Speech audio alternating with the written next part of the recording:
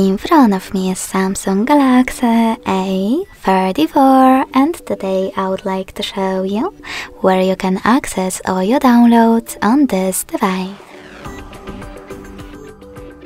First of all, you need to find an app called My Files.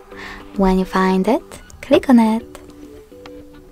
Now select Allow in the pop-up and tap on Downloads category located under Videos. So when I do that, as you can see, all my downloaded files are over here. In order to access one, click on it, pick one of those sources, and select just once or always. Thanks so much for watching. If you enjoyed this video, smash that like button, comment and subscribe. Bye!